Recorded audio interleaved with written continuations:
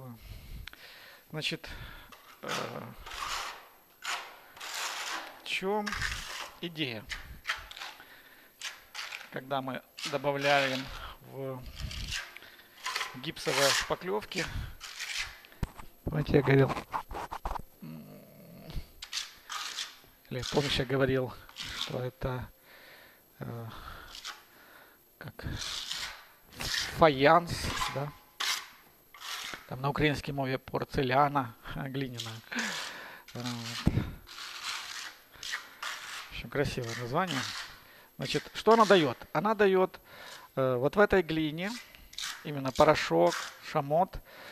Э, как ее делают? Ее э, нагревают. Потом, я так понимаю, получают такой глиняный клинкер.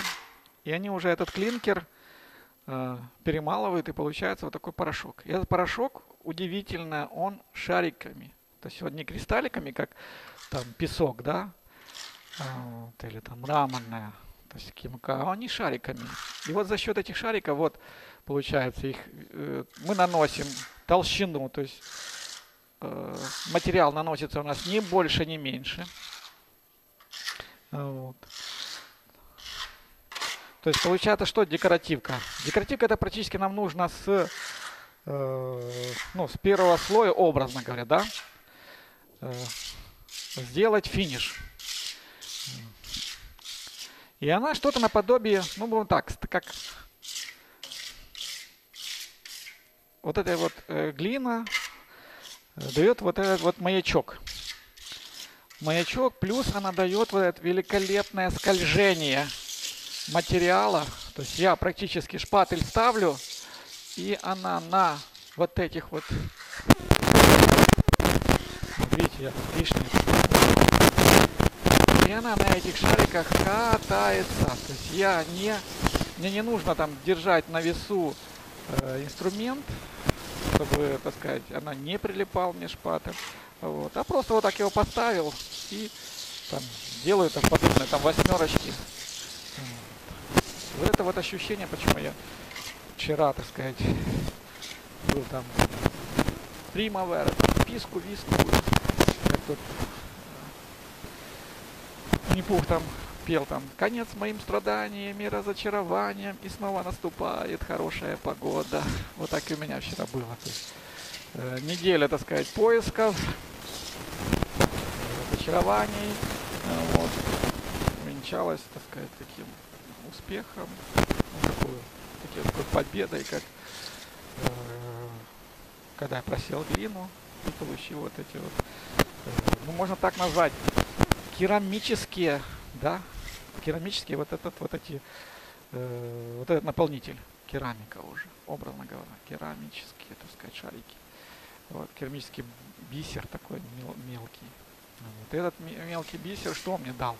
Он, во-первых, глиняную массу преобразил. Вот. Глиняную массу преобразил.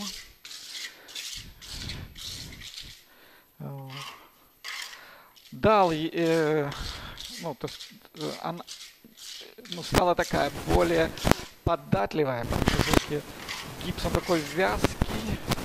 Вот. Это более податливая добавил мне открытого момента. Добавил мне открытого момента. Э, работы с э, гипсом.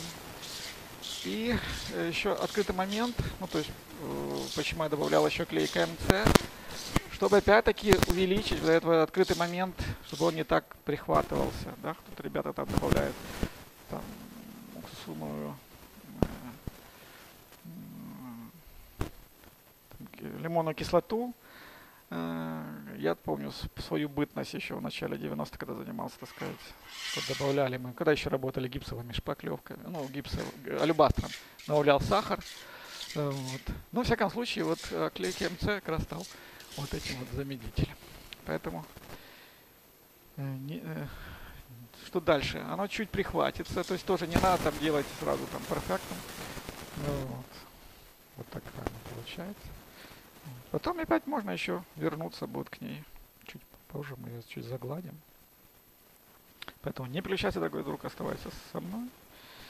И далее буду